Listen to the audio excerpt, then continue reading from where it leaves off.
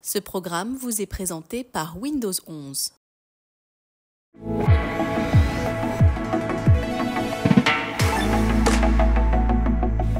Bonjour et bienvenue en direct euh, du campus euh, UNOY pour cette émission spéciale à l'occasion euh, de la semaine de la presse et des médias dans l'école et sous le haut patronage du ministère de l'Éducation nationale. Une heure de débat autour du défi que lancent les réseaux sociaux à l'éducation aux médias et à l'information. Les réseaux sociaux qui sont devenus la principale porte d'entrée dans la formation des jeunes. 62% des 13-17 ans s'informent principalement via les réseaux sociaux, selon une étude de CSA Milan Presse euh, de fin 2022. Alors est-ce qu'il faut s'en inquiéter?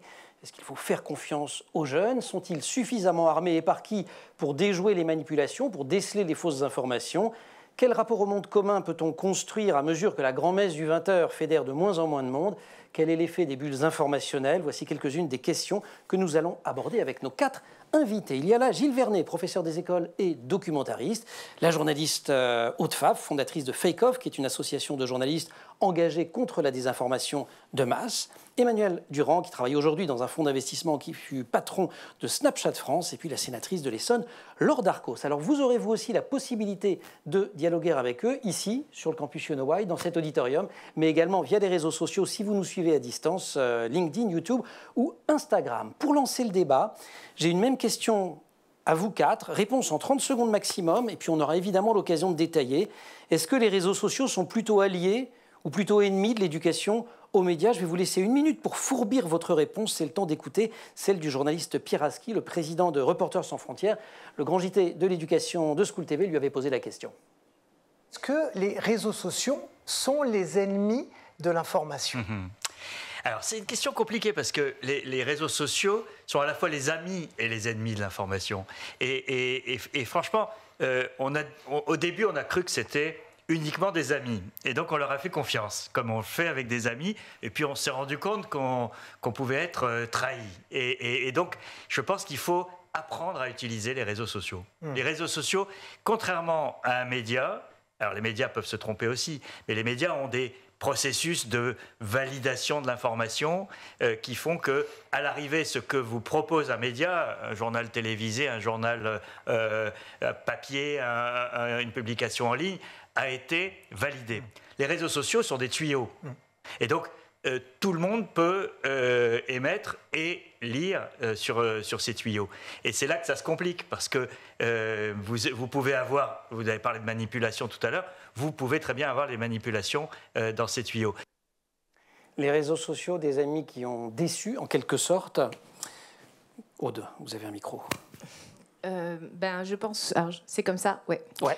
Euh, c'est une vaste question. Pierre Aski a hyper bien balayé tout le sujet. Euh, enfin, moi, je pense, je suis euh, assez optimiste malgré tout. je pense que contre une régulation quand même qui tarde à venir, enfin voilà, on pourra peut-être y, revenir, une certaine forme de régulation en tout cas.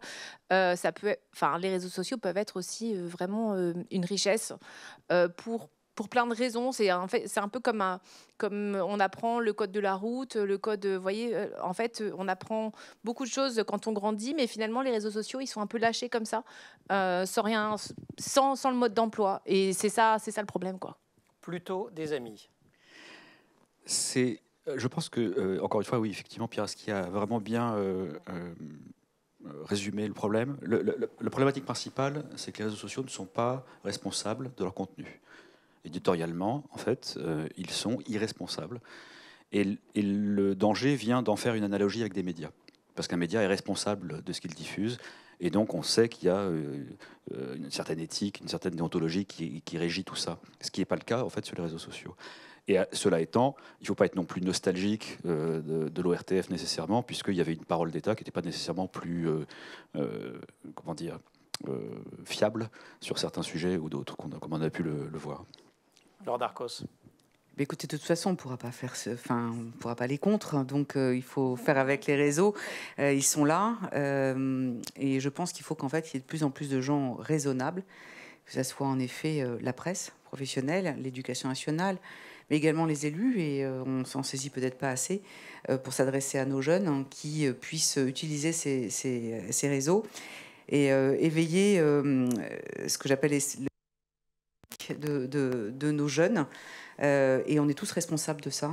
Et, et je pense qu'on va beaucoup en parler ce soir, mais je pense qu'on a un boulevard devant nous pour essayer justement de faire en sorte que ces réseaux soient utiles pour informer nos jeunes et, essayer de, de, contrer tous ceux qui ne font que des fake news. Gilles Vernet euh, bah, Effectivement, il faut, euh, faut, vivre avec. Euh, et d'une certaine manière, ils n'ont pas la responsabilité de ce qu'ils diffusent, mais des algorithmes qui choisissent ce qu'ils diffusent. Et c'est une des vraies questions parce que pour moi, c'est d'abord l'enfermement dans des bulles informationnelles. On est tous bombardés. On va prendre l'exemple du conflit israélo-palestinien, rien que ça.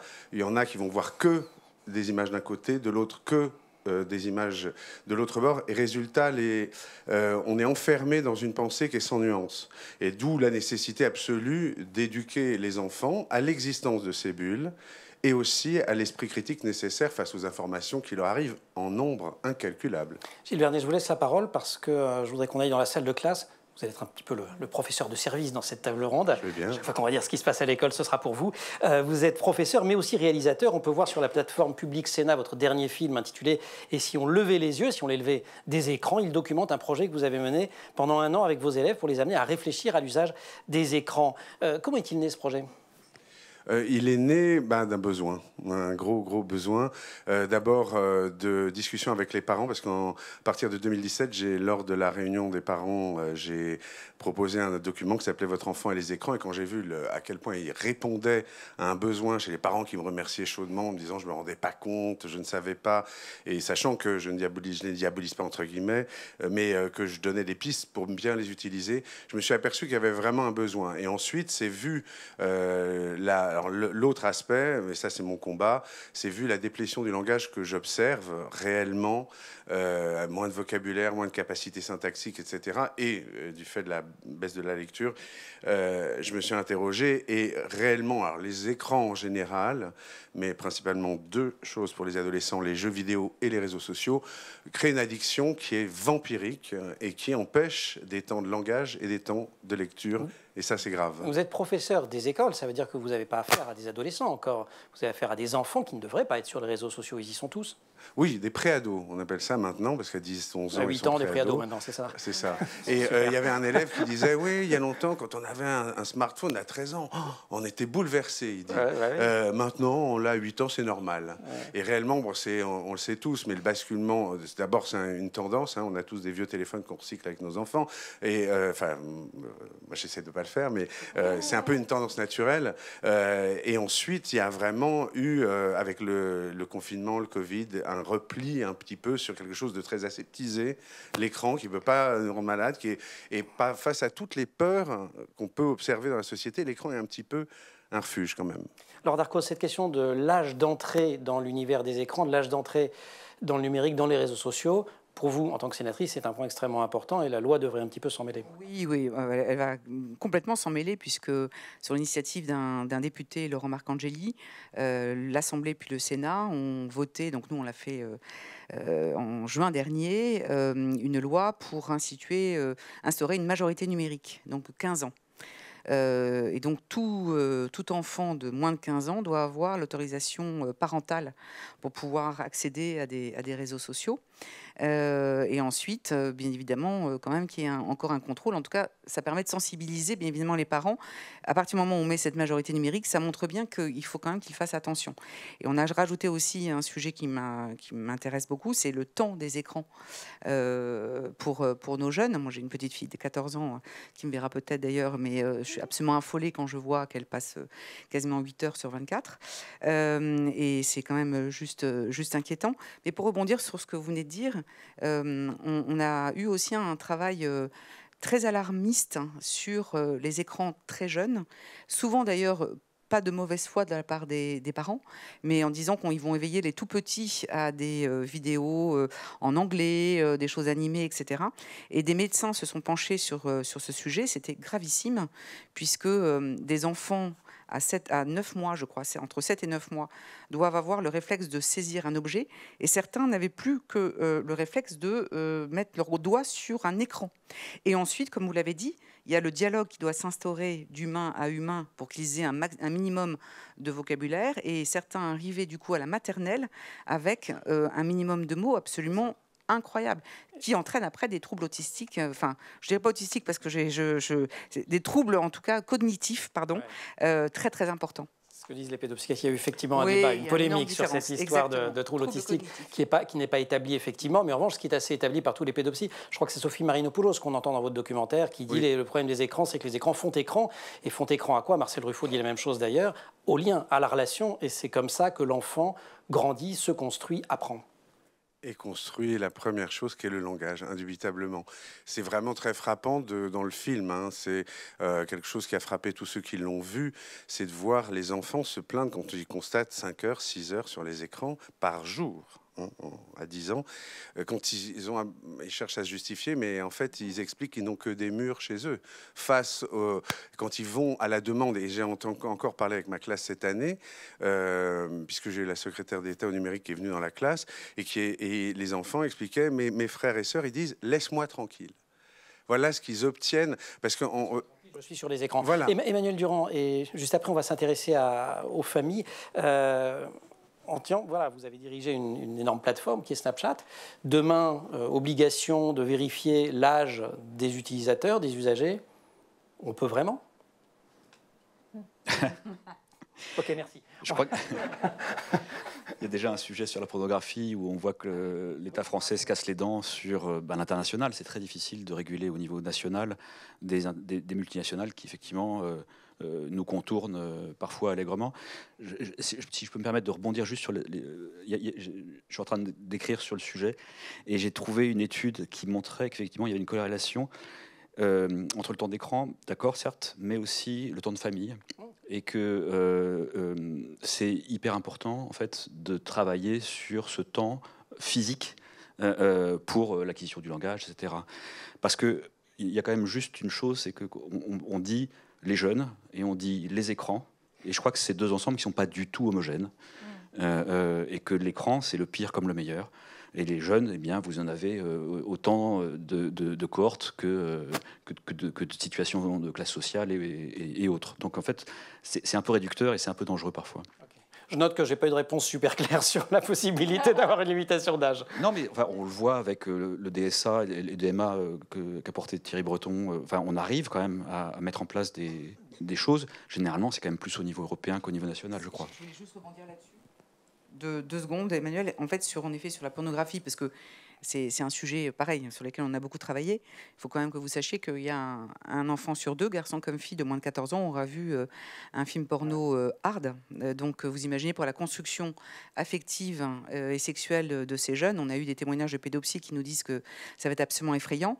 Bien évidemment, du coup, dans cette loi, on a essayé d'y mettre en effet cette interdiction de moins de 18 ans, parce que pour l'instant, on clique sur j'ai 18 ans et plus et tout va bien.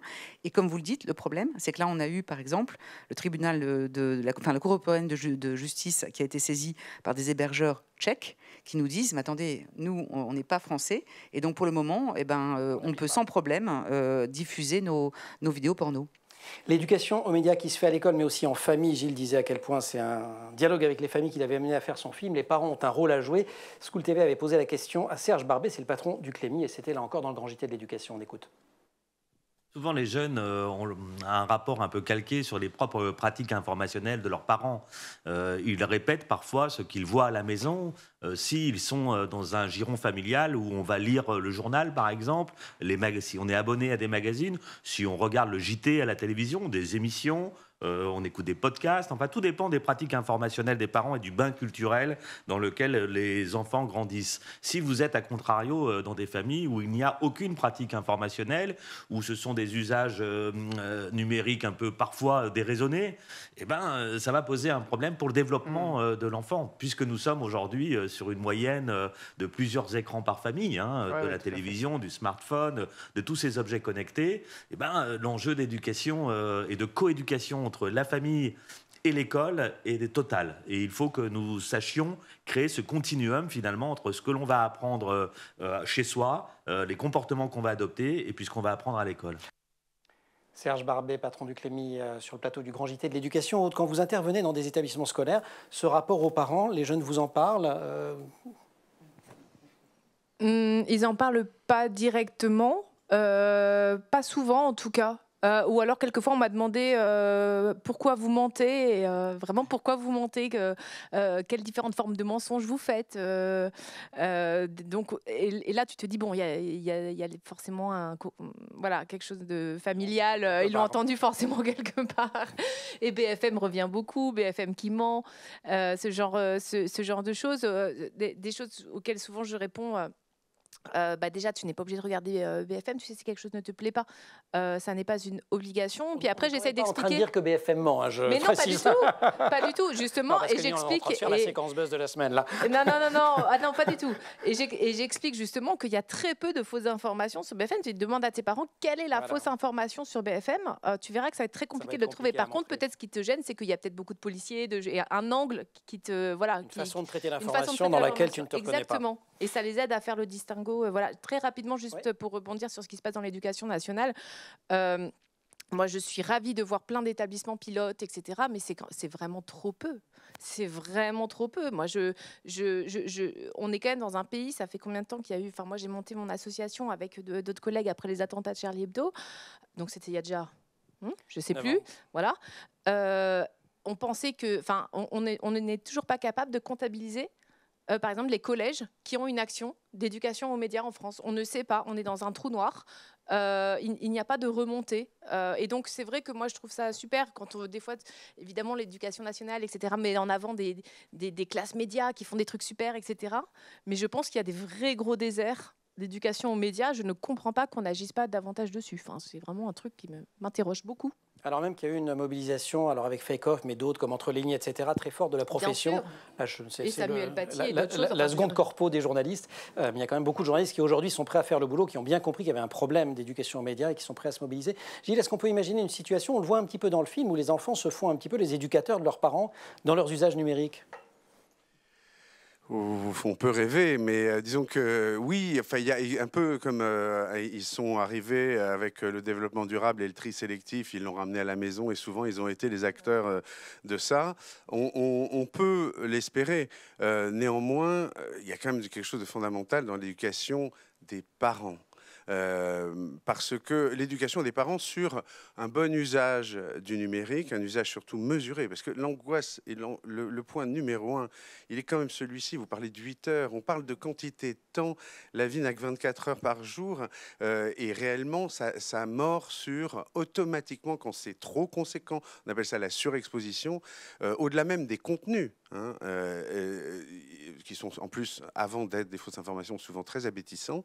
Enfin, les contenus récréatifs qui ont tendance à nous tenter tous un peu quand on est fatigué, et les enfants les premiers. Euh, il y a une nécessité absolument donc de- de- de- d'avertir les enfants, de les accompagner et de marteler aux parents leur rôle décisif dans la limitation, le contrôle parental, la limitation. Euh, je crois qu'il faut y aller. Emmanuel euh, Durand et ensuite Laure Darcos sur les parents je suis complètement d'accord parce qu'en en fait, on a peut-être oublié que l'éducation, c'est d'avant tout de frustrer, c'est c'est d'empêcher, c'est de- c'est d'échanger une, une, euh, satisfaction immédiate pour une récompense ultérieure.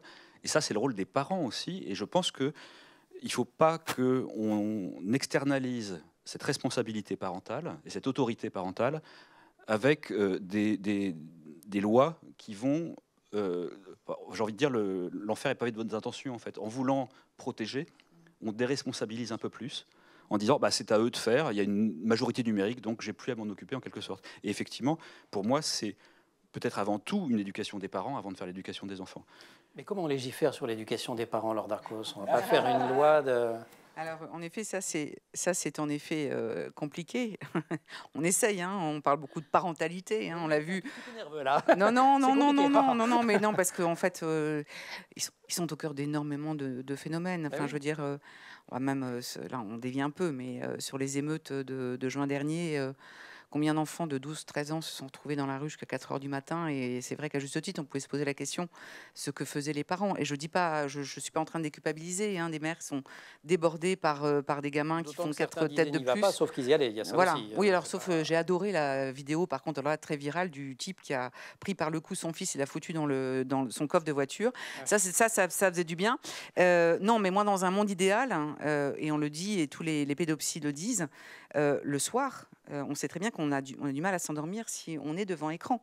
Donc, dans un monde idéal, moi qui défends le livre depuis tant d'années, euh, c'est de revenir à la lecture. Alors, même, de- même jusqu'à la préadolescence, euh, un- une lecture partagée avec les parents de certains romans, etc. Je sais que c'est un monde idéal, hein, je suis pas.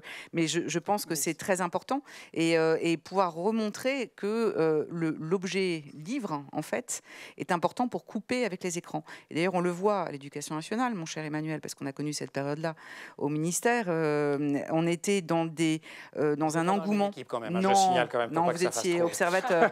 mais euh, on est dans l'engouement total des écrans et en fait, les collectivités ont tous offert des, enfin, des, des- des tablettes, des, des ordinateurs à tous leurs élèves. Et aujourd'hui, on en revient énormément en disant qu'en fait, pour l'apprentissage et de la lecture et, euh, et, et de, de- de- des exercices, il faut que ça soit sur un- dans un objet livre et que l'écran, en fait, les vidéos, ce sont en fait des outils supplémentaires numériques, mais pas en fait un substitut. Mais euh, j'imagine que Monsieur le Professeur, vous pouvez mieux en Alors, parler. il va le dire en 5 secondes, monsieur le professeur, parce qu'après, je voulais montrer une image. Allez-y. Non, il y a, la Suède qui est revenue de la tablette euh, au livre manuel parce qu'elle s'est aperçue que ça fonctionnait pas si bien que ça.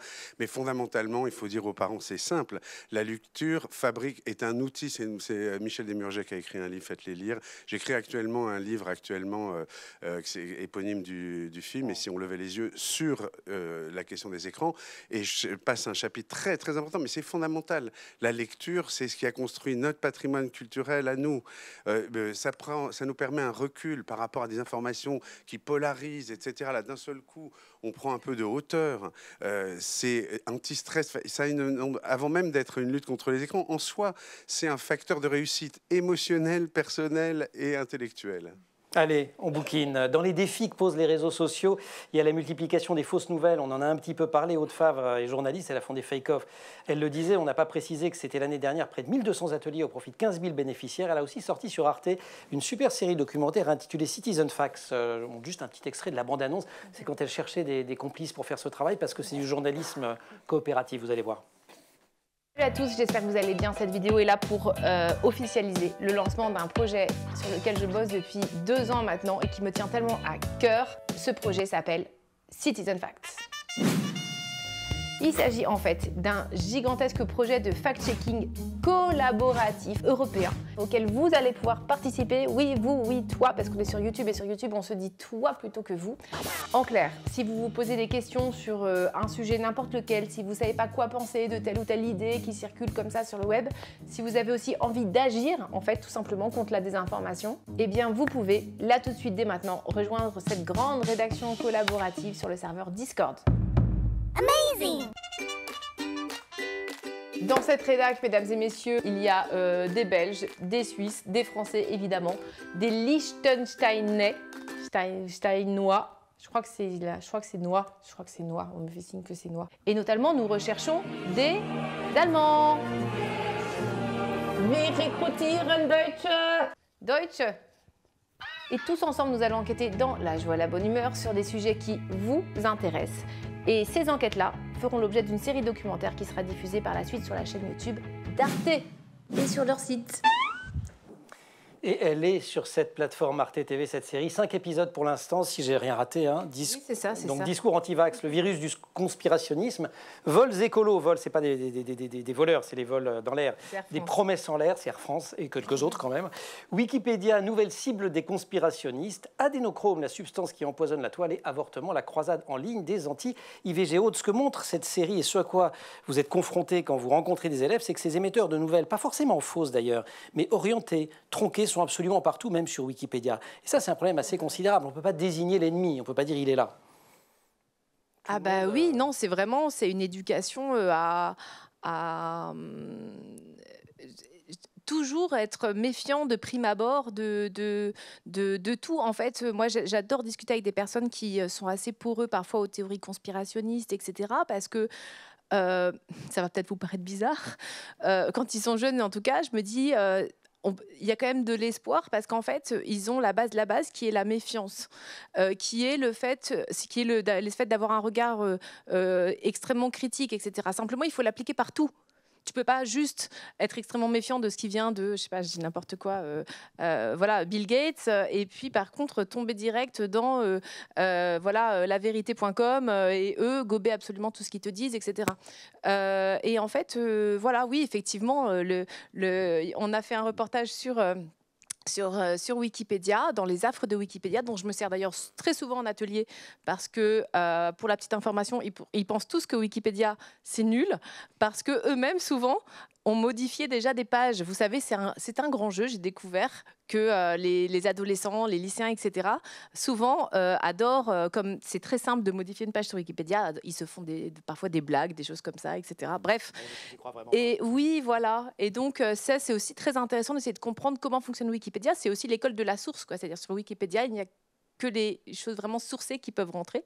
Les sources peuvent être mauvaises, etc. Mais enfin, voilà, je. Normalement, c'est quand même assez contrôlé. Moi, pour avoir essayé de contribuer à Wikipédia, c'est pas si rigolo que ça. J'ai eu des rédac chefs plus cool que Wikipédia. hein. Ah non, non, oui, sur Wikipédia, c'est vrai que c'est un peu, c'est très compliqué, mais en tout cas, régulièrement, par exemple, cette semaine, il y en a un qui m'a dit Ah, sur Mbappé, je suis allé écrire euh, il y a quelques années, parce que maintenant la page est verrouillée, parce que les pages se verrouillent Oui, aussi quand ça, il y a voilà. trop de. Hum, euh, qu'il venait de chez moi et c'était très rigolo. Et puis, bon, il y en a qui.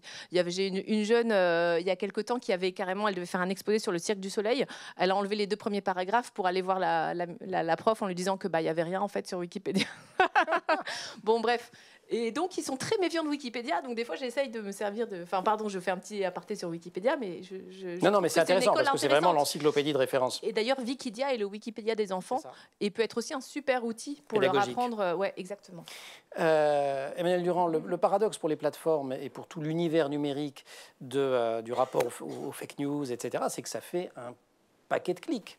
Donc l'intérêt économique à lutter contre, Vraiment dans le temps de cerveau disponible. hein. Enfin, Pour ça, ça n'a pas réinventé euh, outre mesure le, le modèle d'affaires des médias gratuits qui vivent de effectivement l'attention euh, euh, des gens et donc euh, de la publicité. Et pour revenir quand même sur cette histoire de réseaux sociaux et de vérité, etc. mo- Moi, j'ai en tête l'exemple de Rémi Buisine pendant les Gilets jaunes. journaliste de brut. Voilà. Et donc, je trouve qu'il y a une voie peut-être médiane qui peut être intéressante, qui est d'avoir cette euh, information qui est effectivement directe, brute, euh, sans jeu de mots, euh, et, en, même temps un filtre euh, éditorial qui vient quand même apporter une crédibilité euh, de la source euh, à l'ensemble et qui permet quand même de lutter contre euh, là, euh, euh, ce, procès en désinformation qui est fait aux, médias traditionnels. Je trouve, bah, parce que d'ailleurs, par exemple, Bu- euh, Buzine était le seul à être accepté par euh, les Gilets jaunes, et, euh, parce qu'il les suivait, et qu'il n'y avait pas de filtre, etc., et qu'il rendait compte de ce qui se passait. Ce Donc, qui en peut fait, encore être débattu parce qu'un cadrage euh, n'est jamais neutre. Bon. mais, mais il, est, il est partout le cadrage. Enfin, Il est sur TF1 comme, comme là. Mais je veux dire, celui de Rémi Buisine n'est pas moins engagé que celui de TF1, de BFM ou des autres. Mais il était accepté, vous avez tout, euh, à fait raison. Laure Darcos, est-ce que ce qui n'est pas en jeu aussi derrière tout ça, c'est un problème que l'école rencontre, et je vais passer la parole à Priagile, c'est-à-dire que c'est une remise en question du, savoir, hein, une remise en question de la raison. On est dans un univers de croyances. Ça peut croiser d'ailleurs, c'est les 20 ans de la loi euh, sur la laïcité. euh, les croyances ne cessent de progresser au détriment de, la raison. Dé- dé- déjà, plusieurs choses. Madame parlait du fait que les complotistes étaient euh, d'une manière critique. Moi, je, je- ils sont dangereux parce qu'ils croient. Oui, oui, parce qu'en général, ils croient quand même tout de suite quand même des choses assez un peu aberrantes. enfin. Euh, oui, oui, non, non, mais c'est- c'est c'est quand même un peu compliqué. Moi, je vais être, euh, je serai beaucoup plus radical. Euh, je je- j'interdirai en fait les pseudos ou l'anonymat euh, sur les réseaux. C'est pareil, c'est un monde idéal, mais euh, parce que nous, élus, on, on assume d'être euh, sous nos, nos noms. Vaut aussi les journalistes, hein, et on se fait allumer euh, en permanence euh, de propos haineux absolument épouvantables. hein. On a rarement euh, des gens qui vont nous dire c'est formidable ce que vous faites. Et, et ça, je trouve ça insupportable parce que déjà, hein, ça assumerait peut-être la bêtise de certains, ou en tout cas les propos haineux de, de- ça atténuerait certains, certains propos. Et ce que vous faites, par exemple, sur Citizen Facts est, est absolument génial parce que on va avoir, non, non, mais on va avoir un, un vrai souci, ne serait-ce que l'élection européenne. Alors là, on parle des plus grands, hein, ceux qui vont être majeurs pour pouvoir voter aux élections européennes. Tous les gouvernements européens sont actuellement extrêmement inquiets euh, de la montée euh, de, euh, de, de- de- de- des fake news qu'on va avoir de la part de certains empires de l'Est, on va dire, voilà. Euh, Grand Est. et du Grand Est. Euh, et, et on sait très bien, malheureusement, que nos lois, par exemple, nous permettent pas de diffuser des, euh, des, euh, des sondages dans les derniers jours de, de l'élection, etc. Alors que eux vont passer leur Oui, temps, bien évidemment, à nous enfumer et avec des choses très alarmantes sur l'immigration, sur tous ces sujets-là, pour faire monter, bien évidemment, tous les pays, tous les partis extrêmes de chacun de ces pays. Donc, je pense que vis-à-vis de nos jeunes, on a une vraie responsabilité de pouvoir être sur ces mêmes réseaux pour essayer en tout cas de, de les, faire, euh, de les faire changer d'avis. Et pour répondre à votre question quand même, Emmanuel, sur la laïcité, oui, bien sûr, moi je, je- je trouve que votre initiative dans les écoles devrait être beaucoup plus développée, parce que moi aussi j'ai bien sûr euh, à l'esprit Samuel Paty et, et dernièrement Dominique Bernard. Et aujourd'hui, les professeurs, notamment de, qui s'occupent de, d'enseigner euh, l'histoire géo, euh, Oui, sont pression. euh, sont complètement sous pression. C'est-à-dire qu'ils savent, déjà il y a un problème de vocation, mais aujourd'hui ils savent qu'ils risquent leur vie. Et au fait, du coup, ça permettrait de pouvoir avoir un appui, un support pour pouvoir leur permettre de dire voilà, ce qu'on vous enseigne, c'est aussi ce qui se passe dans la vraie vie avec un, un support média. Emmanuel, d'un- d'un mot, si vous voulez bien, et après Gilles. Sur euh, les effets de bord de ce genre de loi, euh, euh, déjà l'anonymat n'existe pas vraiment d'un point de vue juridique, hein, parce qu'on peut retrouver les gens. Et il a quand même des bénéfices pour certaines personnes qui peuvent s'exprimer alors qu'elles sont dans des situations, euh, etc. Donc je, crois qu'il faut se méfier des effets pervers, en fait. Et je, je peux revenir juste sur une anecdote rapide. J'étais en discussion avec l'ARCOM qui voulait lutter contre la désinformation et qui demandait s'il était possible, s'il serait possible éventuellement, euh, de euh, d'écouter en fait ce que les gens s'échangeaient sur euh, le- les chats privés en fait sur Snap. Et je, je suis euh, un peu tombé de ma chaise parce que ça, ça, ça équivaudrait à dire que, bah, par exemple, la Poste ouvrirait toutes les lettres que les gens s'envoient. Et on est, on est tellement focalisé parfois sur un objectif qu'on en oublie euh, que ça vient atteindre en fait des libertés fondamentales. euh, et donc il faut, il faut être un peu plus mesuré parfois sur. L'ARCOM, qui est, on le rappelle, l'autorité de régulation de, euh, de l'audiovisuel et de la communication. Je vais vous passer la parole, Gilles, mais juste avant, je voudrais qu'on écoute euh, le, le patron de l'agence My Social Branding, parce qu'il y a un an, le ministre de l'Éducation nationale de l'époque, je vous le rappelle parce que ça change un tout petit peu souvent, c'était Papendia il y a un an, il avait annoncé que les élèves du CM1 à la terminale participeraient à des ateliers d'éducation aux médias et à l'information au moins une fois par an, et ça l'avait laissé dubitatif. Marc Fanelli, Isla, on le regarde. Votre réaction justement à ce qu'a annoncé Pape Ndiaye, le ministre de l'Éducation nationale, qui se réveille un petit peu et qui se dit qu'il faudrait peut-être au moins une fois dans l'année un, un cours sur l'éducation aux médias? Il y a quand même urgence, non? Ouais, bah, moi personnellement, je trouve franchement que c'est un peu du bullshit, très honnêtement, parce que euh, les jeunes déjà savent souvent mieux utiliser que les adultes les réseaux sociaux qui sont leur première source d'information aujourd'hui. Il faut savoir aujourd'hui que les jeunes s'informent essentiellement quand ils ont moins de 18 ans sur TikTok. Aux États-Unis, d'ailleurs, c'est 40% de la jeunesse qui s'informe des actualités chaudes, des breaking news sur TikTok, et ça vient ici aussi en France, puisque on a affaire à des jeunes Américains qui ont une culture très euh, social média. Donc euh, leur apprendre euh, comment rechercher l'info, je pense que c'est pas très utile. En revanche, par contre, leur apprendre à faire du tri et bien sûr avoir du recul sur ce qu'ils voient, ça c'est évidemment ce qu'il faut faire, mais c'est aussi, euh, je pense, aux médias sociaux eux-mêmes de trier l'information et également aux journalistes qui sont présents sur les médias de, de continuer à faire leur travail sur les médias sociaux. Parce que un jeune qui voit une vidéo évidemment il va peut-être qu'il va pas savoir si c'est du deep fake vous savez maintenant le fait qu'on peut changer les visages dans les photos dans les vidéos euh, il va en effet être être perdu possiblement, comme on l'est tous aujourd'hui devant tout ce qu'on voit sur les médias sociaux. Donc je pense que c'est vraiment aux médias sociaux déjà de, de, de, de trier les informations euh, et, déjà, il y a un gros travail là-dessus, déjà de repérer tout de suite les, les, les possibles fake news avec euh, les deepfakes, etc. Euh, et je pense qu'il y a un gros travail de la part des réseaux, encore plus maintenant avec l'intelligence artificielle, pour, bah, pour authentifier l'information. Après, les jeunes, on ne pourra pas les empêcher d'aller sur les médias. Bienvenue si vous nous rejoignez à l'instant pour cette émission spéciale en direct et en public du campus euh, You dans le cadre de la semaine de la presse et des médias dans l'école et sous le patronage du ministère de l'Éducation nationale. Thème de notre débat, l'éducation aux médias et à l'information, au défi des réseaux sociaux. Et nous sommes avec Gilles Vernet, Haute-Favre, euh, Laure Darcos et Emmanuel Durand.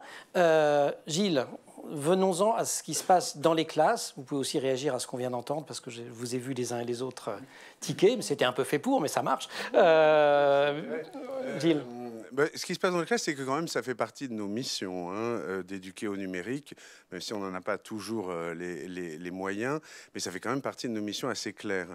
Euh, ensuite, je suis d'accord avec enfin, je pense que c'est vraiment, ça a été dit, le développement de l'esprit critique, c'est ce qui est le plus difficile, mais on sait très bien que les vérités, le côté c'est blanc, c'est noir, c'est une phrase de, de Desproges que j'aime bien, que je fais avec mes élèves, ça donne beaucoup à réfléchir, c'est l'ennemi est stupide, il croit que l'ennemi c'est nous, alors qu'en fait, c'est lui. Euh, et cette vision très polarisée de notre société, elle me désespère personnellement. Et je pense qu'il euh, faut rétablir, et ce que je m'attache à faire avec des citations philosophiques chaque début de semaine, euh, un espace de débat. C'est-à-dire qu'on puisse. Alors, je, m'inscris assez en faux avec les anathèmes. C'est-à-dire les anathèmes du type euh, pro-vax, anti-vax, woke, khmer vert, facho, complotiste. Il y en a 10 à la douzaine, qui sont des catégories qui empêchent toute discussion.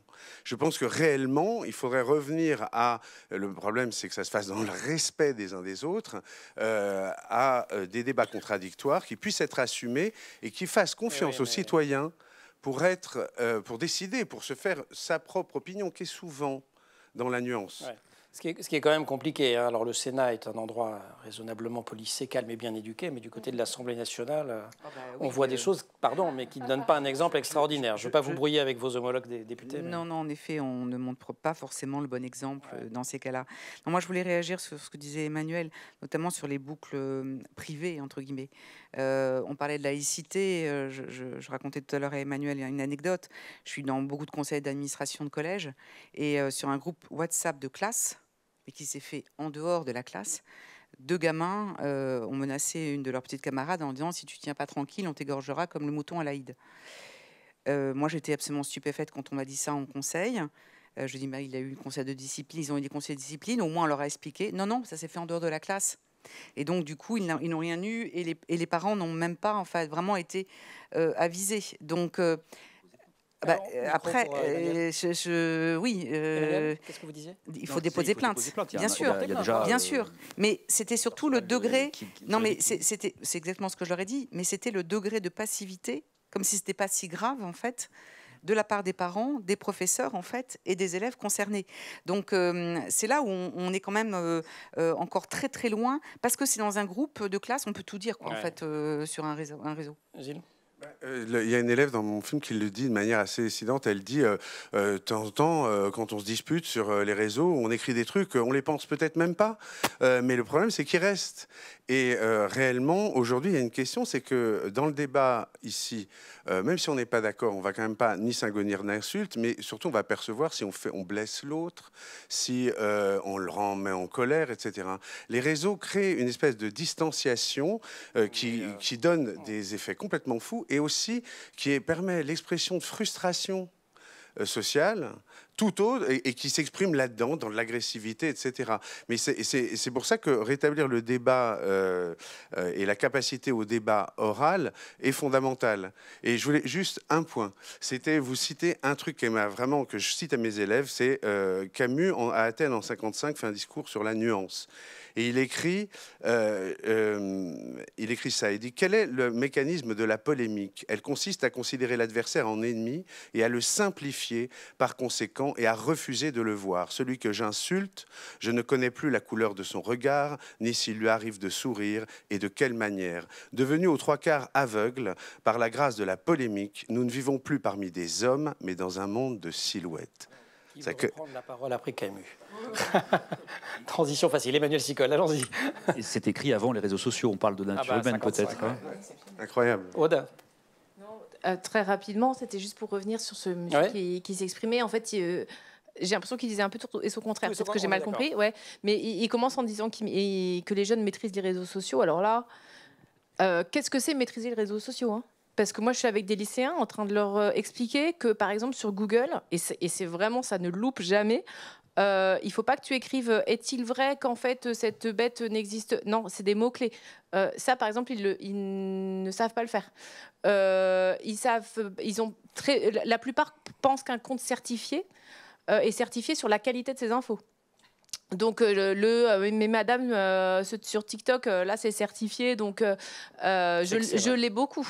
Donc en fait je sais pas ce que je sais pas ce que c'est maîtriser les réseaux sociaux. Être dessus si la question c'est être dessus et scroller et liker et partager ils maîtrisent beaucoup. Le reste le reste moins. quoi. C'est- vrai que le plus grand mensonge, c'est cette euh, appellation digital native, comme Ah bah s'ils oui. avaient été infusés euh, dès le placenta en fait dans le numérique et qu'ils naissaient avec des compétences en Python. En fait, euh, ils pouvaient coder. euh. Donc c'est vrai, ce sont des usagers. Il faut les considérer comme des usagers.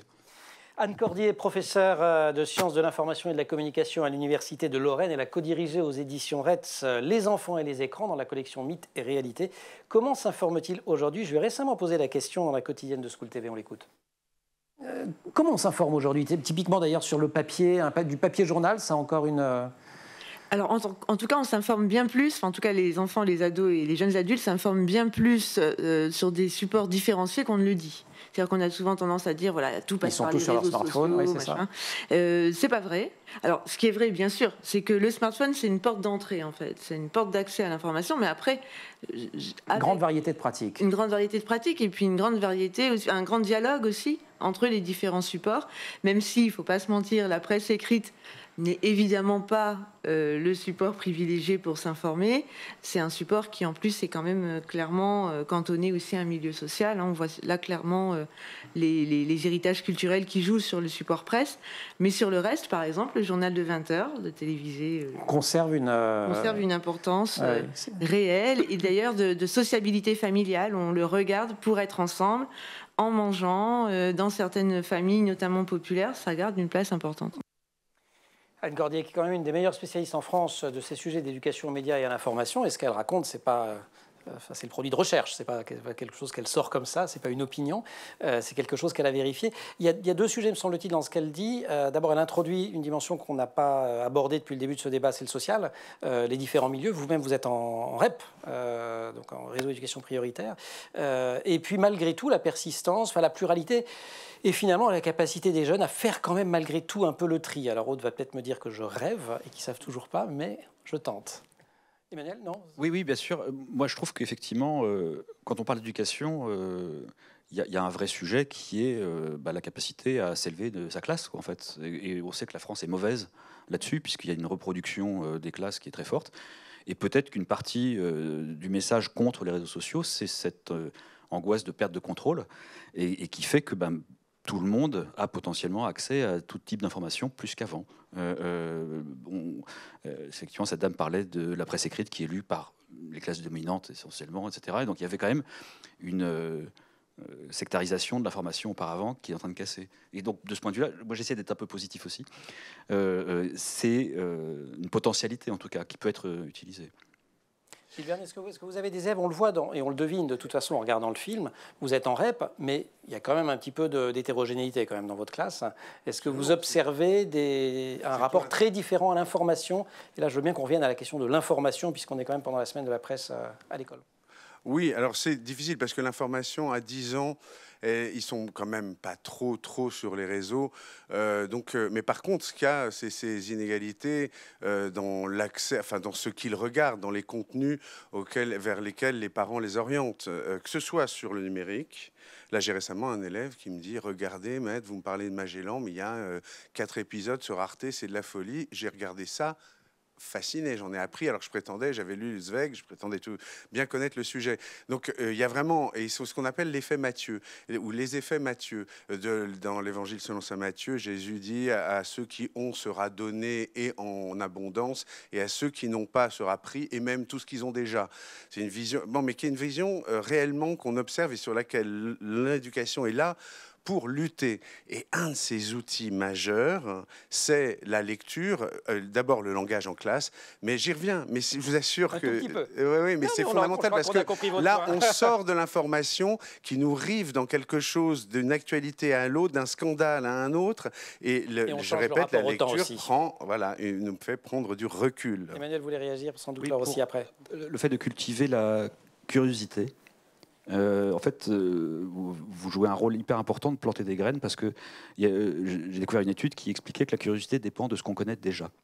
On ne va pas avoir de curiosité sur des domaines qui nous sont totalement étrangers. En revanche, effectivement, euh, créer un intérêt sur un sujet permet par capillarité ensuite de, euh, de- de- et là pour le coup les réseaux sociaux offrent enfin, ou, ou le numérique en général offre une capacité effectivement d'apprentissage qui est beaucoup plus grande que ce qu'on avait auparavant. Et ça, c'est ce que disait Anne Cordier d'ailleurs. Ils l'utilisent comme une porte d'entrée, ensuite ils vont chercher. Laure et Oui, ensuite Aude. Oui, moi, ce que je voulais dire, c'est que ces inégalités sociales, ça fait penser un peu au pass culture. Quand on a voulu euh, donner un chèque de 500 euros à des jeunes de 18 ans, euh, ça a été réduit après à 300 euros. Moi, je me suis battue pour qu'il y en ait une bonne partie qui soit mutualisée dès le collège, parce que c'était absolument une injustice totale. À 18 ans, vous avez déjà vos goûts euh, culturels qui sont faits ou pas. Et donc, en fait, euh, les euh, jeunes allaient chercher, en fait, quand même, souvent dans leur domaine, en fait, de, connaissances, alors que quand on, les initie dès le collège à différents secteurs culturels qu'ils ne seraient pas allés voir eux-mêmes, on peut le faire. C'est exactement pareil. Et moi, je me bats auprès des présidentes de chaînes qui sont toujours très fiers de leur etc., mais qui est très sont souvent très méconnus. Je leur dis, mais vous avez un pouvoir énorme parce que euh, la ménagère de 50 ans dont on parlait euh, il y a encore quelques années, euh, qui regardait la télévision de temps à temps, moi je leur dis, mais les jeunes ne regardent plus jamais vraiment la télévision, sauf alors euh, votre jeune sur Arte, ce qui est absolument étonnant et formidable. Mais en fait, il faut pouvoir les inciter à travers leur site, donc Internet, hein, pour pouvoir les sensibiliser à des émissions, des choses formidables. Et de la même façon, toujours sur l'information, je trouve, alors certains le font, je sais que le Monde le fait sur, euh, sur son site numérique, d'avoir de temps en temps des infos extrêmement euh, euh, resserrées, des flashs où on explique en fait telle ou telle information. Et je trouve qu'en fait, ça devrait être responsabilité de tout grand média de devoir s'adresser à nos jeunes par des vidéos et des petites chroniques extrêmement courtes.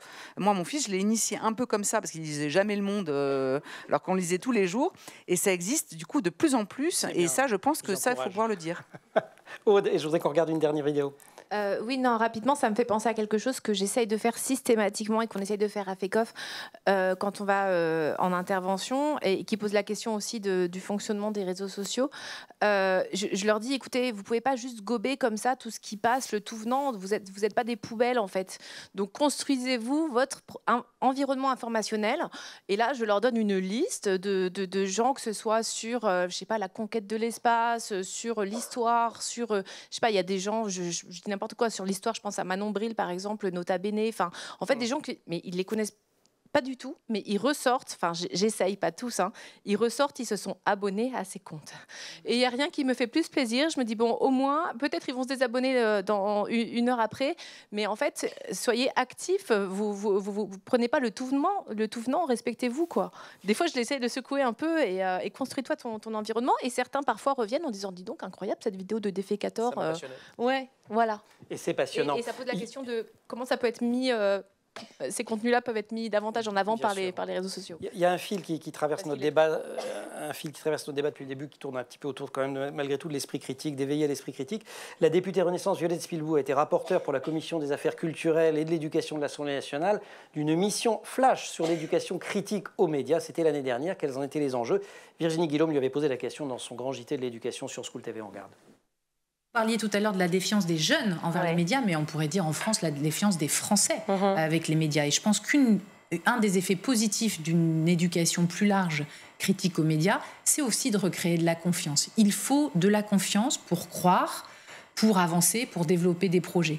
Et euh, donc, quelque part, euh, euh, c'est donnant-donnant, on va dire. On va avoir le journaliste qui va faire l'effort euh, d'aller vers, de prendre du temps sur son temps de travail ou hors temps de travail. Moi, j'en ai vu beaucoup aussi euh, après euh, voilà, le Bien sûr. plateau qui vont dans un collège ou un lycée pour animer un atelier. Encore faire connaître leur pouvoir se remettre en question. Et c'est tout le problème de, la qualité humaine. Non, mais... Voilà, mais, mais je, je trouve quand même qu'il y a un mouvement général et une envie aussi, parce que ça donne du sens au métier.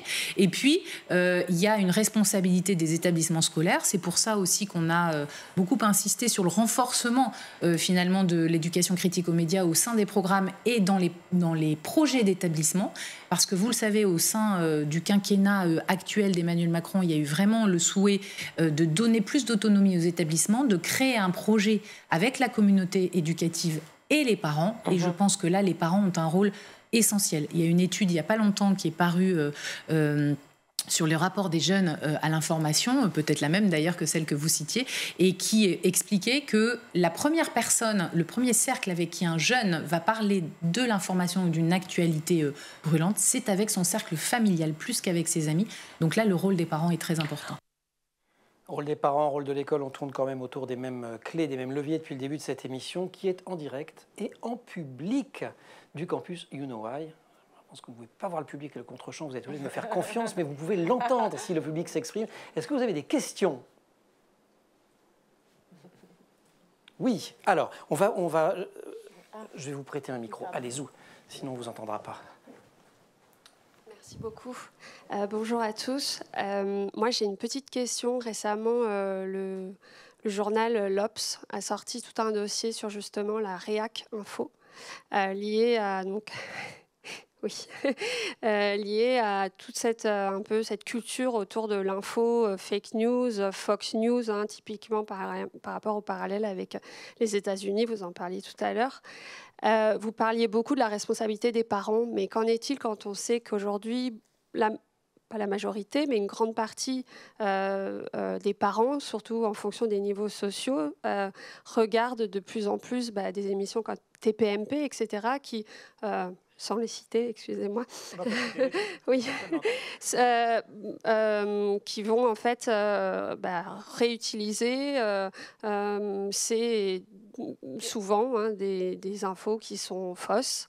Euh, et ces enfants-là regardent en fait avec leurs parents ces émissions-là. En fait, comment on... Enfin, c'est assez. Alors, on euh, réseaux sociaux, mais c'est vrai que c'est un bain informationnel. bah, en fait, ils, ils, ils reprodu- enfin, ils, ils le diffusent également sur leurs réseaux sociaux. Donc, euh, C'est vrai, vous avez raison.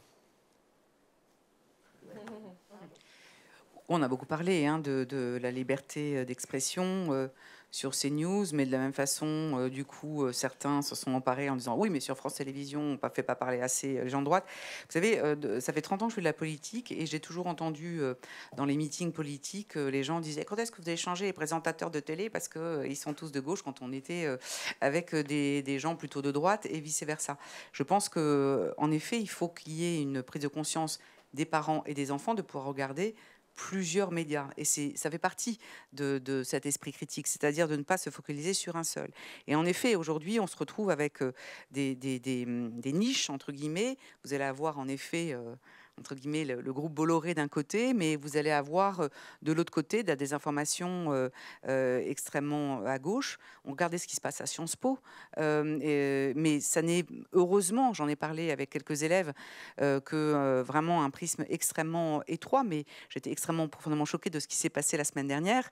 Et donc, en fait, il faut faire très attention parce que je pense que de la façon du miroir dans lequel vous allez regarder, de quel côté vous allez regarder, vous allez de toute façon trouver en effet que euh, l'autre extrême, en fait, va, va prendre beaucoup plus d'espace. Mais je pense que c'est pour ça, quand je parlais de gens raisonnables, quels renvoie- qu'ils soient, pour avoir cet esprit critique et pouvoir le, le- le diffuser, et notamment à l'éducation nationale, où en général, vous avez quand même vraiment des gens extrêmement objectifs. Réaction d'Aude et ensuite nouvelle question dans le public. Oui, non, je ne sais pas si je peux faire mes deux minutes euh, ut- utopistes, euh, mais, euh, mais, mais moi, je. Je- ça s'est pas super bien passé, mais tu aurais essayé. je retente. Non, mais moi, je, je reste profondément persuadée que la plupart des gens sont dans la nuance, que la plupart des gens sont demandeurs de ça, sont demandeurs d'explications. Et moi, tout ce que j'essaye de faire hyper modestement à travers le projet Citizen Facts, par exemple, ou, ou voilà, Fake Off, etc., c'est vraiment, euh, je pense qu'il faut. La désinformation, elle est devenue telle maintenant qu'on ne peut pas se passer en fait des uns et des autres, et que je pense que toutes les forces euh, vives quelque part euh, sont bienvenues pour euh, essayer de lutter contre la désinformation. Et je crois vraiment à cette nouvelle forme de journalisme-là euh, qui embarque les gens en fait euh, euh, avec, euh, avec, euh, avec lui. Donc typiquement, par exemple, dans la rédaction, voilà, je, je travaille avec une assistante maternelle, un météorologue, des gens qui, ont, qui sont parfois très geeks, qui ont un outil qui va nous permettre... hein, on l'aura compris en Exactement. voyant le- la bande-annonce du projet. et c'est fou, en fait, l'espoir que ça me donne. Je pense qu'en fait, voilà, simplement pour rebondir sur ce que, sur, sur ce que vous disiez, je trouve qu'il y a aussi une nouvelle forme de journalisme à inventer qui embarque vraiment les gens parce que le conspirationnisme embarque énormément les gens. Euh, beaucoup de gens se retrouvent, euh, quelque part, c'est terrible à dire, une fierté en étant dans la rébellion contre le gouvernement, contre ceci, contre je sais pas quoi qu'on a. Et le journalisme ne mo- mobilise pas comme ça et je trouve que ça, pose aussi ce grand enjeu-là. Madame. Ça marche, ça marche. Ça marche. Une question pour Monsieur l'enseignant, euh, certainement. Euh, je voudrais faire, euh, voilà, je voudrais faire le lien avec euh, les cours d'empathie dont on a parlé euh, récemment et savoir si ça pouvait compenser éventuellement les effets peut-être un peu délétères de ce que vous disiez sur la distanciation, sur euh, la relation humaine qui se délite un peu à travers euh, les écrans et les réseaux sociaux. Est-ce que c'est une bonne idée? Voilà. En soi, développer l'empathie, c'est une très bonne chose pour euh, justement permettre des débats à peu près sereins. Euh, personnellement, avec les classes, tous les matins, on respire pendant 3-4 minutes. Alors, ce que ça développe l'empathie, ça développe un rapport à soi un peu plus serein et un rapport aux autres un peu plus serein. Et euh, alors l'empathie, c'est délicat de, de- de- dire comment la développer, mais en tous les cas, le respect de la parole de l'autre et l'échange et le débat. Ce que je trouve regrettable, c'est qu'on n'accepte plus d'être dans une société pluraliste. Je, trouve ça, moi, très profondément regrettable. Et je pense que la confrontation des idées, quand elles sont, euh, alors, euh, j'aime pas le terme, mais conspirationnistes stupides, euh, parce qu'il y a aussi du conspirationnisme réel. On ne peut pas dire, on ne peut pas éliminer. C'est-à-dire dire, il n'existe pas de complot, Voilà. jamais. Ça n'a pas de sens. pas la même chose de tout est complot, tout est complot n'a pas de sens. conspirationniste réel, parce que c'est pas une conspiration, il y a des complots. Et- Voilà. Et, et les journalistes emploient pas mal d'énergie à déjouer les complots d'ailleurs. Oui, oui, oui, Voilà. oui, mais ah, ah, voilà, mais bon, on va pas s'en- euh, s'embarquer là-dedans, mais réellement, euh, c'est pas en jetant le discrédit, c'est plus en, en s'écoutant, en acceptant la parole de l'autre dans sa totalité. Il y a peut-être des raisons d'avoir tort, euh, si on estime qu'il a tort. Et il y a peut-être aussi des choses. Je, euh, parler ensemble, c'est évoluer au fil de l'échange. Si on ressort les mêmes à la sortie. Je sais pas de quoi, à quoi servait véritablement la discussion. C'est ça que j'essaye d'apprendre à mes élèves. On va devoir rendre l'antenne dans pas longtemps. Est-ce qu'il reste une question? Sinon, moi j'en ai une et ce sera la question de conclusion. Je pose la question de conclusion. Bah, gardez le micro, on va le faire tourner. Euh, en 30 secondes, vous avez le pouvoir, vous avez les budgets, votre plan ou au moins vos mesures prioritaires pour que les jeunes fassent un meilleur usage des réseaux sociaux. Bah, une vaste campagne de communication à l'adresse des parents et de la société en général. Moi, je reste très optimiste parce que on est dans une prise de conscience. Bon, il y a eu le président Macron, mais bien avant, il y a plein de gens qui sont en train de réaliser les enjeux.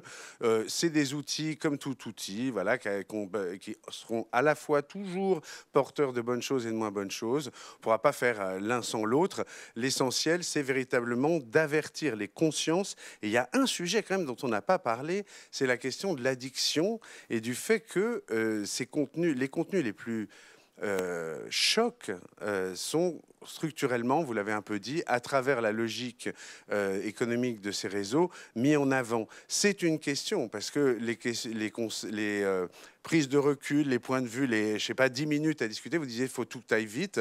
Aujourd'hui, il faut que ce soit en une minute. Je ne sais pas quelle pensée un peu là, complexe peut se une développer minute. Je vous en donne une 30 minute. secondes. Lord Arcos. Euh, alors, je reviendrai sur ma lecture, que tout le monde puisse lire, en effet, euh, que ce soit une un obligation. grand plan lecture. Voilà, plan lecture euh, pour tous, hein, ça c'est sûr. Et euh, si possible, pousser euh, les algorithmes de la majorité silencieuse, qui est souvent la, la plus euh, sensée, pour éviter justement les minorités euh, bruyantes. Inverser, en fait, fait, et qu'on l'ordre de- inverse, on inverse en effet euh, les algorithmes pour qu'on puisse euh, montrer, comme l'a dit ma- Madame, euh, tout ce qui, euh, tous les gens qui ont de bonnes initiatives. Emmanuel Durand. Alors, comme j'ai beaucoup de budget, Ouais. on va Ah, faire un, finit. Là, c'est open bar. un plan en trois couches. Je pense qu'il euh, il faut se garder des solutions simplistes qui attaquent une seule partie du problème. On, on a parlé de la famille, on a parlé de l'école.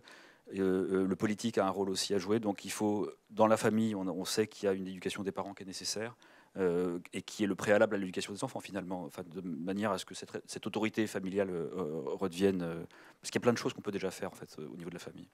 Au niveau de l'école, on sait effectivement qu'il y a tout un, enjeu d'éducation, parce qu'il ne s'agit pas d'interdire, il ne s'agit pas de les rendre illettrés par rapport à, ces écrans. Et au niveau du politique, l'algorithme, parce qu'on en a peu parlé, et effectivement, euh, Si, si, je pense que c'est l'ennemi de l'esprit critique, l'algorithme, Ouais. parce qu'il vous met dans une passivité.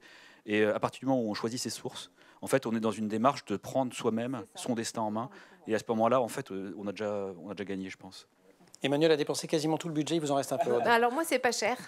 J'avais adoré Ça- une, ça plaire, initiative qui avait l'air d'être une initiative de feu qui s'appelait la réserve citoyenne. Ça Oui. vous rappelle ça Bien Euh, Je sais pas, ça vous dit quelque chose? Après. Charlie Hebdo, j'étais là, Oh, ce serait ma vie de diriger ce truc. Euh, et en fait, je- petit message, j'ai. D'ailleurs, je me suis retrouvée une fois, c'était face à Nadjet, euh, comment elle s'appelle?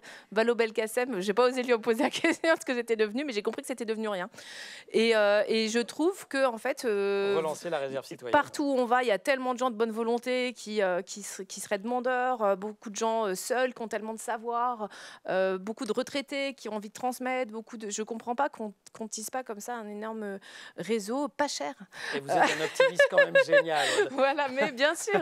Fallait terminer avec Aude, on est d'accord Je voudrais, si vous le voulez bien, qu'on applaudisse chaleureusement nos quatre intervenants pour les remercier de leur participation à ce débat. Merci à toutes et à tous de nous avoir suivis en direct, en public. Vous l'entendez au campus You Why. Le débat a été organisé dans le cadre de la semaine de la presse euh, à l'école et des médias à l'école, sous le haut patronage de l'éducation nationale. Merci aussi à toute l'équipe de School TV, au maquillage Laure Audemont, euh, Saïd Mamou pour le son, Mani Pézèche pour la réalisation, la rédaction en chef, Benjamin Saillard euh, et Déborah. Un beau, bonne soirée et rendez-vous tous les jours sur School TV et sur les réseaux sociaux, puisque désormais, on sait les utiliser de manière extrêmement raisonnée.